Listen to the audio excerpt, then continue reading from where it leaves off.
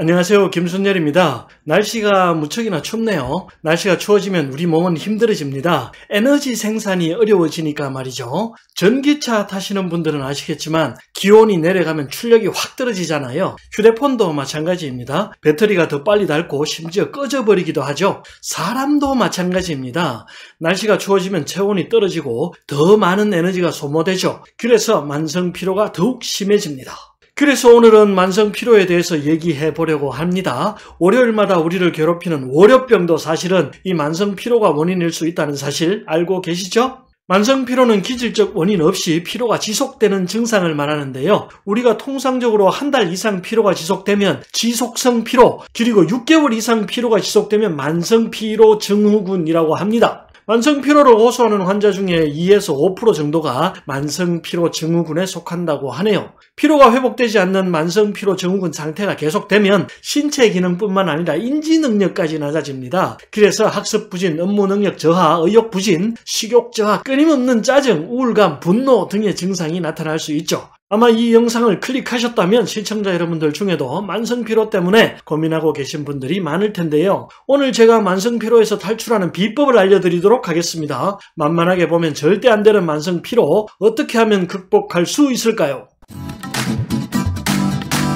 만성 피로를 극복하는 가장 중요한 키워드는 바로 에너지입니다. 만성 피로의 원인이 항상 명확한 것은 아닙니다. 하지만 어떠한 이유로 우리 몸에서 사용해야 하는 에너지가 부족해지면 바로 그때부터 피로감이 쌓이기 시작합니다. 그래서 과도한 에너지 소모를 줄이고 양질의 에너지를 잘 보충하는 것이 무엇보다 중요하죠. 그렇다면 우리 몸은 어떻게 에너지를 만들어내는 거죠? 흔히 피로와 관련지어서 가장 먼저 떠올리는 장기가 바로 간인데요. 간 간과 피로의 상관관계는 절대적인 것은 아니지만 밀접한 관련이 있습니다. 실제로 간 질환이 있거나 간의 능력이 저하되면 피로감이 심해지죠. 하지만 이것은 피로를 느끼게 하는 원인 중 하나일 뿐 간 기능을 높인다고 해서 모든 피로감이 사라지는 것은 아닙니다. 그래서 말입니다. 만성 피로를 제거하기 위해서 가장 근본적으로 신경 써야 할 신체 기관은 바로 소화기와 호흡기입니다. 소화기는 음식물을 먹어서 영양분을 흡수하고 호흡기는 산소를 영양분을 공급해서 흡수한 영양분에서 에너지를 뽑아내는 거죠. 그래서 소화기와 호흡기를 통한 에너지 생성이 원활해져야 비로소 만성 피로가 회복될 수 있는 겁니다. 충분한 에너지 공급이 바로 만성 피로 제거의 근본 치료법 되겠습니다. 그럼 이제부터 구체적인 만성피로 제거법 알아보겠습니다. 만성피로에서 탈출하기 위해서는 다음의 3단계가 꼭 필요합니다. 첫 번째, 근본적인 피로 줄이기. 두 번째, 소화기관 강화하기. 세 번째, 호흡기관 강화하기. 이 세 가지만 꼭 기억해 주십시오. 첫 번째로 말씀드린 근본적인 피로 줄이기는 사실 만성 피로에서 벗어나는데 가장 기본적인 조건이죠. 앞서 말씀드렸듯이 만성 피로는 에너지가 부족한 상태에서 옵니다. 과로가 에너지 소모의 주범이죠. 흔히 월요병이라고 부르는 월요 피로 증후군도 이런 이유로 생기는 것이고요. 일주일 동안 쌓인 피로를 주말에 다 풀지 못한 채로 다시 업무를 시작하니까 월요일마다 업무에 집중하기 힘들어지는 것이죠. 그래서 피로가 쌓이는 것을 빚에 비유하는데요. 이렇게 피로가 끊임없이 쌓이면 피로의 빚이 쌓이고 번아웃이 되는 겁니다. 그래서 충분한 휴식으로 피로의 빚을 끊임없이 갚아야 하는 것이고요. 사실상 돈은 내 몸 갈아서 버는 것과 같다고 보시면 됩니다. 두 번째, 소화기관 강화하기는 음식으로부터 얻을 수 있는 영양분의 흡수율을 높이기 위한 것입니다. 영양분을 보충하기 위해서 보양식이나 몸에 좋은 음식들 많이 찾으시잖아요.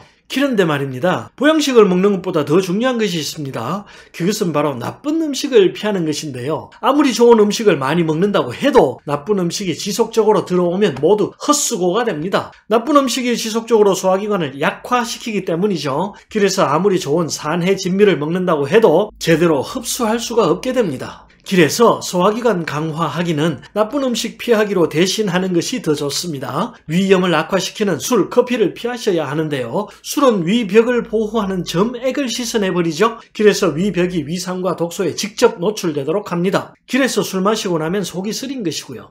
대장의 벽을 보호하는 점액도 씻어내기 때문에 복통과 설사가 증가할 수 있죠. 커피는 위산의 분비를 촉진해서 소화작용은 돕습니다. 하지만 위벽을 보호하는 점액의 분비를 감소시키죠. 그래서 위염이나 궤양이 더 심해질 수 있습니다. 과식도 좋지 않습니다. 염증을 유발하는 탄수화물 섭취 줄이는 것도 중요하고요. 어떤 음식이든 너무 많이 먹게 되면 위와 장의 기계적 손상이 생길 수 있습니다. 소식하는 것이 건강에는 좋은 거죠. 맵고 짠 자극성 음식, 인스턴트 음식, 위와 장을 끊임없이 손상시킬 수 있는 술과 커피, 그리고 과식 반드시 피하시기를 당부드립니다.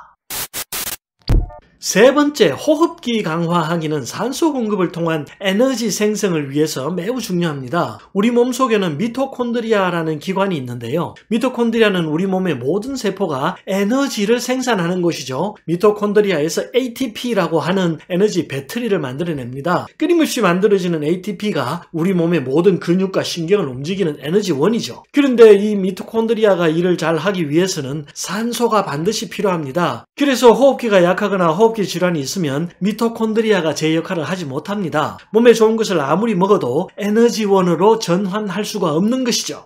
영양제 중에 코큐텐이라고 있는데요. 많이 들어보셨죠? 코큐텐이 이 미토콘드리아에서 에너지를 합성할 때 꼭 필요한 영양분입니다. 코큐텐은 돼지, 소, 닭고기와 같은 육류와 고등어, 청어와 같은 기름진 생선, 오렌지, 딸기 같은 신선한 과일에 많이 들어있습니다. 그래서 고기 먹으면 힘이 나는 겁니다. 사람의 세포에서 에너지가 생성될 때 꼭 필요한 영양분이 있던데요. 그중 중요한 것이 비타민 B군이죠. 그래서 기운 없을 때 비타민 B군 사 먹으라고 하는 것이고요. 또 유기산 효소도 에너지 생성에 아주 중요합니다. 그래서 레몬, 매실, 식초 등 유기산과 함께 비타민 B군이 풍부한 맥주 효모를 함께 복용하시면 아주 좋습니다. 폐와 기관지 호흡기관을 강화하는데 무엇보다 중요한 것은 운동입니다. 운동 없이 폐를 튼튼하게 할 수는 없죠. 폐가 튼튼한지 약한지 알 수 있는 가장 기본적인 한 가지 방법이 있는데요. 목소리를 들어보시면 됩니다. 목소리가 크고 우렁차면 폐기가 강한 것이고요. 목소리가 작고 기어 들어가면 폐기가 약한 것입니다.